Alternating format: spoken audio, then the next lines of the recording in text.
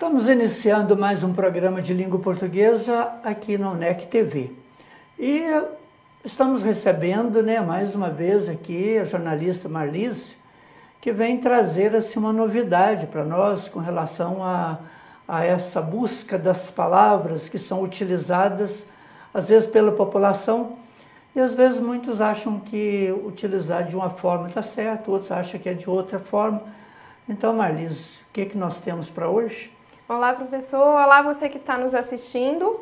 Nós hoje vamos começar, professor, com a nossa enquete, como o senhor mesmo disse. Nossos jornalistas vão até a rua para fazer uma pesquisa com os nossos telespectadores. Então, você pode ser abordado aí a qualquer momento, é, enquanto estiver na rua. É, a palavra de hoje, professor, ela, as mulheres usam muito quando vão ao salão. E às vezes a gente chega e pede uma coisa errada para o profissional. Mas vamos ver primeiro o que, a nossa, é, o, que o nosso telespectador responde na nossa enquete. Ô Camila, a gente está com uma dúvida aqui relacionada à língua portuguesa sobre a forma correta de se escrever a palavra, essa palavra, no caso vou dar a opção aqui, é sobrancelha ou sobrancelha? Sobrancelha. Como é que é? Sobrancelha. Primeira ou segunda? Primeira. Primeira. Sobrancelha. Isso. É sobrancelha ou sobrancelha? Sobrancelha. Sobrancelha. É. É a segunda opção, então. A segunda opção. Eu acho, né? É sobrancelha ou sobrancelha? Sobrancelha. Tem certeza? Absoluta. Sobrancelha. A segunda opção? Segunda opção. Tem certeza? Tenho. É sobrancelha ou sobrancelha? Sobrancelha. Tem certeza também? Sobrancelha, tem certeza, Léo? Sobrancelha. É a primeira de cima aí, ó. Sobrancelha. Com certeza. Tony, para tirar uma dúvida para a gente relacionada à língua portuguesa, como, como que se escreve? É sobrancelha ou sobrancelha? Para mim, sobrancelha. Sobrancelha. Tem certeza? Não, mas vamos, vamos, vamos nessa aí. Nessa enquete nós ouvimos sete pessoas, então quatro responderam sobrancelha, professor, e três responderam sobrancelha. E agora, quando as mulheres forem ao salão, o que elas vão pedir? Para o profissional cuidar da sua sobrancelha ou da sua sobrancelha? Pois é, isso aí realmente é uma dúvida, não é isso? Isso significa que a população está dividida também aí no, na utilização dessa palavra. É, veja, essa palavra é, sobrancelha, ela é muito utilizada realmente. É, às vezes até as pessoas têm assim uma, uma certa justificativa, porque acaba fazendo uma sombra, né? Pode ser, pode ser que haja esta, essa semelhança, né? essa busca aí. Mas, Marlisa, a palavra certa é só sobrancelha. Não tem esse M antes do B. Então, repetindo, sobrancelha. Porque é uma palavra que deve, deriva do latim, né, supercília, e que significa sobre os cílios. Portanto, é, ela é utilizada é, erradamente quando as pessoas colocam esse M aí logo depois do só. Portanto, a palavra certa é sobrancelha. Professor, vamos agora à nossa placa? Vamos lá. Né? Vamos a de hoje é muito... Que, né? Essa daí eu acho que até tem, existe aí uma cão no pedaço, né? É. Vamos ver? Vamos ver. Olha, nós temos aí uma placa, né, como foi dito, que usando aí na gíria, né, que há cão no pedaço, né? E, de verdade, é uma placa muito curiosa, né, que a pessoa diz assim, cuidado, cão marca fila brabo, mas muito brabo. Olha, a gente imagina que isso aí é um risco mesmo para as pessoas que passam ali por perto. Mas, meu amigo, nós vamos ter que corrigir sua, sua placa aí, olha. Veja só. Quando você falou aí, cuidado, é, precisa ter uma vírgula aí no seu cuidado, né? É, ou o seu escreva em cima, é, chamando atenção, nesse cuidado você separa, escreve no, por cima de tudo e coloca uma exclamação, aí fica melhor ainda, porque você chama atenção né, com essa exclamação. Então é importante, cuidado, ponto de exclamação. Aí você começa a sua placa. cão. É, essa palavra marca você deve substituir por raça, não é isso? Ela não, é marca, é uma raça, fila. E aí você utilizou a palavra brabo, né? escreveu com acento no A e BU. De verdade, esse brabo, é, ele originou-se é, na antiguidade aí dos, dos bárbaros, né, da palavra bárbaro, e que evoluiu para brabo, né, com O, né, mais no final, e que de verdade evoluiu para o nosso português atual para bravo. Então, nós aconselhamos você a, a colocar aí é, raça fila e bravo, B-R-A-V-O, bravo. E esse mais muito bravo, é, você chamou atenção, está até interessante, né? É, mas eu acho que até nem precisava, né? Porque você já falou, olha, é um cão, é, raça fila, bravo. Você já deu o recado. Mas se você quiser continuar, não é problema, né? Você quer chamar atenção, pode colocar aí ou mais com M-A-I-S, mas é mais, que ele é muito, mas muito bravo. Continua também o bravo. Portanto, o brabo é muito utilizado sim, mas na linguagem popular, é uma linguagem e há também, se a gente for analisar com muita profundidade, a gente vai ver uma pequena diferença de sentido entre a palavra bravo e a palavra brabo. Portanto, nós te aconselhamos utilizar bravo. Assim fica bem feita a sua placa, viu? E cuidado com seu cão, não pode ser solto. É, e nós vamos passar muito longe desse, desse lugar aí que tem essa placa, né, professor? É, nossa mãe. Eu tô longe. assim, né, é utilizando aí a linguagem dele, eu tô longe. Eu né? tô longe, eu tô Isso, longe também. É. E você que está nos assistindo, envie suas placas quando você estiver passando pela rua, fotografe aí alguma placa que você acha que tem um erro de, de ortografia, algum erro de entendimento, é, envia para a gente e nós vamos comentar, nós vamos colocar no ar alguma dessas placas. Muito obrigada, professor, pelo esclarecimento. Nós que agradecemos né, essa oportunidade de poder estar conversando aqui com você e com o nosso telespectador. E eu aguardo você daqui a pouco para o nosso segundo quadro.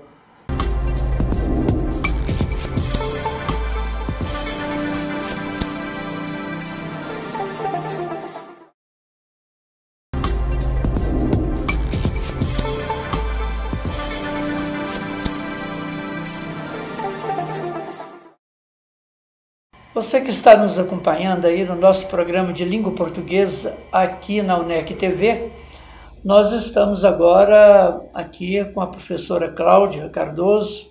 Seja bem-vindo, professora. A professora Cláudia, que é a nossa coordenadora do curso de letras do Centro Universidade de Caratinga, e hoje com um assunto assim muito importante. Mesmo sabendo que várias pessoas estão aí de férias escolares, mas são muitos também que estão aí em busca de um, de um novo trabalho, de um emprego, não é isso? Então nós é, queremos recebê-lo aqui né, com muito, é, muito carinho, muita, e muita atenção, porque o seu programa tem sido muito ouvido e assistido. Então, a, nós queríamos fazer uma pergunta, não uma pergunta, mas assim, uma exposição. Veja só, né, no programa anterior, nos programas anteriores, você falou um pouco a respeito do discurso, os gêneros, né, tipos de discursos. E hoje o assunto que você vai tratar, nós consideramos muito importante, que é exatamente uma entrevista, né, que é um, um tipo de linguagem, naturalmente é, é diferente né, de um discurso de formatura. Sim certamente a pessoa vai ter que ter algumas habilidades de acordo com a pessoa que ela eh, que vai ser o, entrevistador, não é isso, professor? Isso. É isso mesmo, professor. É, nós falamos né, no último programa sobre o discurso enfatizamos discurso de formatura, um gênero textual. E como o senhor bem disse, né, muitas pessoas estão de férias, mas muitas pessoas também estão procurando trabalho.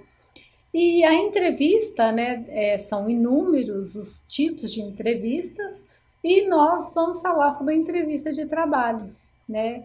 O que, que não pode faltar numa entrevista de trabalho, que é também o gênero textual. É um gênero textual, oral, né? Você vai ser entrevistado pela pessoa que possivelmente vai te empregar, né, na empresa dela.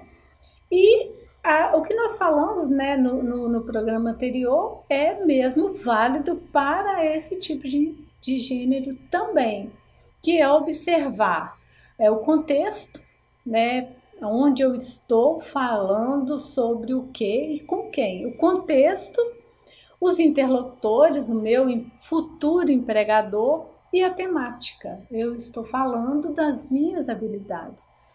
É, eu colocaria aí um quarto elemento que é a originalidade. Não adianta eu me preparar para uma entrevista de trabalho e não ser original porque eu com um mês nessa empresa, o meu empregador realmente perceberá né, que tipo de funcionário eu sou. Então, ser original é essencial.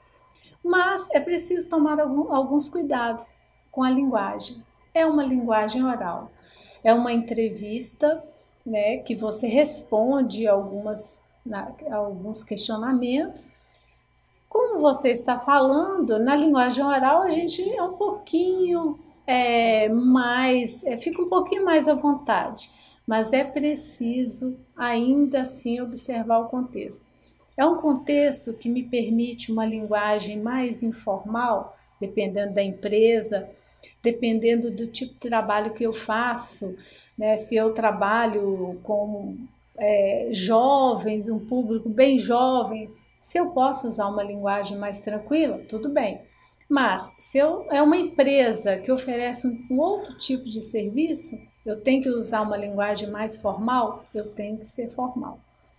Pois bem, essa linguagem ela tem que ser uma linguagem clara, objetiva, não pode perder o foco. Você realmente tem que tratar daquelas questões relevantes para a empresa e para o empregador. É preciso dizer aquilo que realmente precisa ser dito e o que ele gostaria realmente de ouvir. Portanto, é obedecer a temática. Né? O que eu é, vou falar sobre o quê? Sobre as minhas habilidades.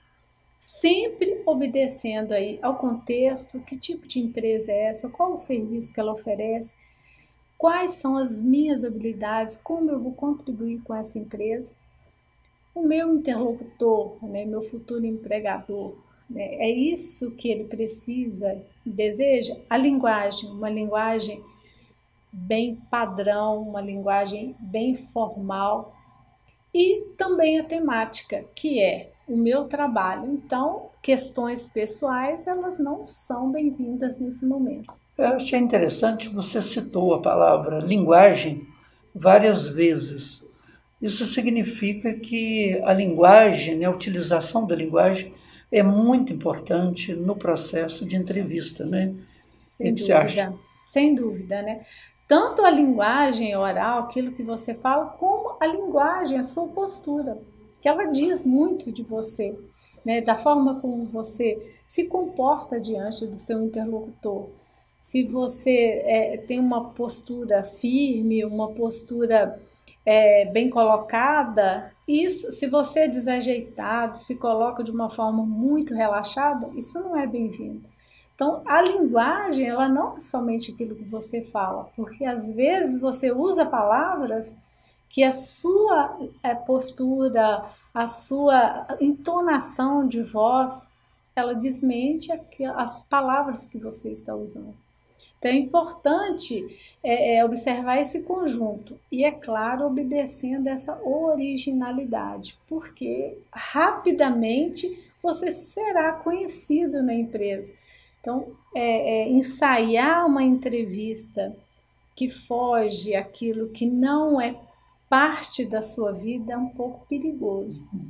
E é, é importante é, usarmos uma linguagem no dia a dia, uma linguagem de certa forma formal. Né? A gente não descuidar dessa linguagem, porque a linguagem ela impregna em nós. Mesmo que você, no grupo mais íntimo, tenha um pequeno descuido com a linguagem, é importante manter esse nível, porque uma hora precisamos. É. E ela acaba impregnando em você. A coisa que eu achei interessante na sua fala, exatamente quando você fala dessa postura, né? Quer dizer, uma postura adequada é uma linguagem que pode dar um resultado positivo, não é isso? Naquela busca do emprego como uma postura inadequada também pode ser o contrário, não é isso? Sem dúvida. Então isso significa que o corpo fala. Então nós temos que ter esse devido cuidado. Sim. Professor, nós estamos chegando ao final né, desse quadro. Queremos agradecê-lo né, mais uma vez pela sua dedicação e pela tranquilidade aí da sua fala. Uhum. Eu tenho certeza que os nossos é, seguidores aí, os nossos telespectadores é, vão tirar muito proveito aí dessa, dessa sua fala. E, e, eu desejo né, que quem está aí à procura de um emprego em plenas férias de janeiro né, tenha sucesso aí com as dicas que nós demos sobre a entrevista de trabalho. Pois é, muito obrigado e até o nosso próximo programa, se Deus assim nos permitir.